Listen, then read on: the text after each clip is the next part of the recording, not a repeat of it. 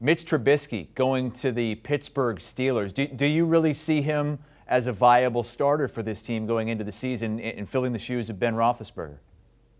In the near term future, absolutely. Week one, for sure. I mean, we've talked a lot about, and I think this speaks volumes about the lack of confidence that everyone has in this quarterback class coming out for the NFL draft. I mean, yeah, you could envision them taking a swing at uh, Kenny Pickett in Pittsburgh, playing him right in their backyard, and he's, you know, Brady and I both like him coming out, but is he ready for, you know, to start be the week one starter? Maybe. Uh, you know, Malik Willis, do they take a flyer with him in the first round? But they, I think this is a, a, a franchise that says, you know, we don't want to take a flyer on somebody who's not a, a, a lock. And, you know, they're hard to find those locks, and there really isn't one in this quarterback class. And I like the upside on Mitchell Trubisky. I, I really do. I mean, he's mobile. He's played a lot. And as much as these quarterbacks, the uncertainty, at least you know what you're going to get with Mitchell Trubisky. I think there's a floor that's there. And Chicago Bear fans are trolling the Pittsburgh Steeler fans right now and letting them know, oh, we'll have fun with that floor. But he's had the chance to sit back. He's, he's kind of regrouped. He can mature. He's had a chance to watch Josh Allen, how he prepares. And we've seen other quarterbacks historically uh, get a second opportunity once they've grown up and matured some about how to be a pro, and maybe just maybe he gets into a system that utilizes his uh, his his skill set better than what Matt Nagy was able to do with him for the Bears. So I like this, especially all things considered with the quarterback class that's coming out for the Steelers, and I would expect him to be starting Week One.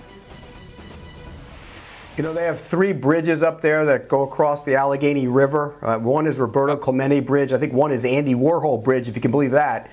Uh, well, this is what he is. He's another bridge in Pittsburgh. He's not going to be the starting quarterback for long. They're going to bring him in. He's going to play the first six or seven games, and whoever they draft in the first round will take over and be their starting quarterback.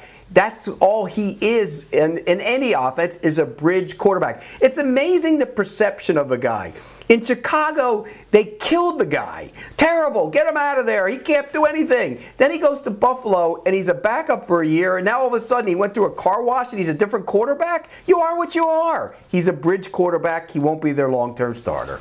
That could be the case, but he has an opportunity. And I think the important thing about what he's done is he had opportunities to go elsewhere. He could have went to the New York Giants. It was rumored that maybe he'd want to follow Brian Daboll, his former offensive coordinator, with the Bills for a year. He's now the head coach of the Giants and then maybe look at working either to win out a quarterback competition or if Daniel Jones falters, then he's sitting there waiting in the wings to take over. He chose not to take an opportunity like that. He chose to take a place where I think he is more the clear starter, at least right now, looking at the fact, looking at what they have on the roster. Now, that doesn't exclude them from taking a guy in the draft. Uh, and to Pete's point, maybe he is that bridge quarterback. But for however many games, if he goes out, he starts and he plays well, and he doesn't have to do much on this roster. Let's not forget, they've got one of the best defenses in the NFL. They do have some playmakers on the outside. If they can improve their offensive line play, it won't be that hard of a job. So if he can go out and play well, maybe he provides himself an opportunity, not necessarily for the Steelers, but somewhere else in the league to revamp his career again. So kudos to him for not necessarily going with a safe play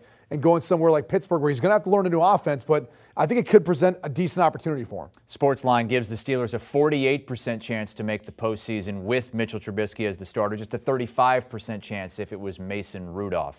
Do you want a sports network that delivers everything that matters about the game? The highlights, the picks, the instant analysis, no yelling, no fake debates, no politics. Hit the subscribe button and never miss a moment.